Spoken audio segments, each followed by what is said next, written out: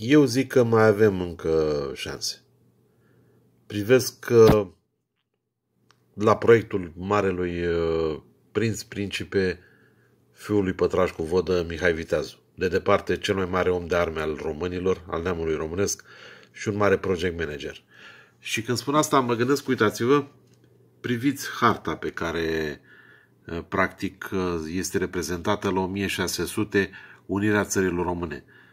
Imperiul Otoman avea Dobrogea. Noi nu aveam atunci Dobrogea.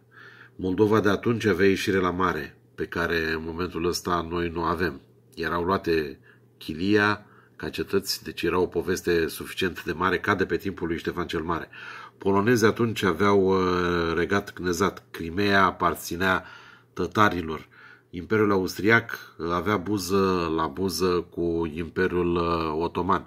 Foarte interesant modul ăsta de a privi lucrurile și analizați-l acum din perspectiva managementului celor patru direcții, adică uh, a modului în care îți tratezi la un moment dat superior sponsorii, cei cu care te afli într-o relație, pentru că ai nevoie de ei, ăsta este și geostrategia în definitiv, ai nevoie formativ la un dat să ai o echipă, o mână tare, ceea ce Mihai Viteazu chiar a avut-o, ai nevoie să mobilizezi trupe, ceea ce este într-adevăr grozav, și pe formația asta transversală a colaborărilor să poți întreprinde colaborări la modul transversal, deci practic colaboratorii fiind practic în stânga ta, cum ar veni mâna stângă, mâna dreaptă fiind uh, cei care sunt formați, echipa ta, iar deasupra ta, în afară de Dumnezeu, așa cum nu mai poți Mihai Viteazu pe nimeni, uh, de regulă trebuie să ai uh, sponsori, oameni cu care să faci mai mult decât alianțe, oameni în baza cărora la un moment dat să poți primi garanții, asigurări sau chiar măsuri prin care îți poți permite să-ți configurezi structura ta de putere.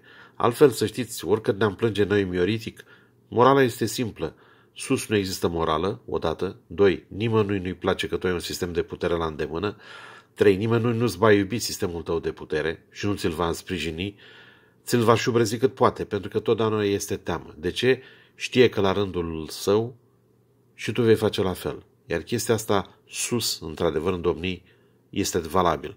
De asta și el rămâne un mare condotier și de asta și rămâne expresia teribilă, asta e pocta ce-am poctit. În definitiv, a fost un șmecher.